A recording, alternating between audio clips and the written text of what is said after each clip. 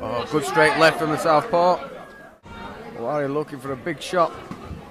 Nice left hook and a right hand as well. He's finding the home for his punches now, the Team Fu fighter. Yeah, Ataya might give it away as well. Oh, good straight left again to the southpaw. Nice and long with that shot, finding a good home and trying the corkscrew jab as well. Ouari rolled and landed a sneaky little left hook that I don't think Barnard expected. Ouari looking at loading up and landing the big shot. Said he tends to get caught. Oh, hard right hand for Ouari. Barnard engages back in the inside. Throwing back with a hard right hand landed. And that one busted it over the left eye.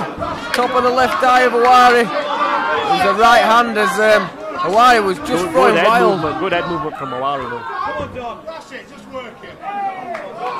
And Bernardo will keep on working that, no doubt. Ouari just getting too wild with the shots and had no thought about his defence. And Barnard was calm and composed enough to engage him with his back on the ropes. Yeah, some welts on the top top of the head of uh, Bernardo as well. Both guys wearing the scars of battle. Going to the body on the inside is Ouari. Bit of dirty boxing there. Oh, good left. Barnard mixing up the tempos and the powers. Big heavy shot there. Yeah, Wadi came back. That one sent him back. Good straight left again from the southpaw. Tapping with a jab and then a long straight. Crisp.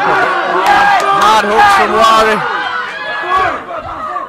Looks for a. Oh, try to Harai Goshi. Yeah, Barnard definitely the more technical boxer.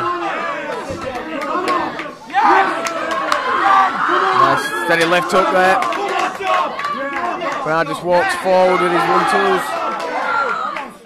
But where Barnard's tapping when Ouari does throw his shots, he goes uh, full ball. And they're going toe to toe to end this one. Hook for hook. Ouari got left hook to the temple. Barnard had a little wobble, and that's the end of the fight. 29-29, we have a draw. Another draw, Kira when Combat challenge. I'm on board.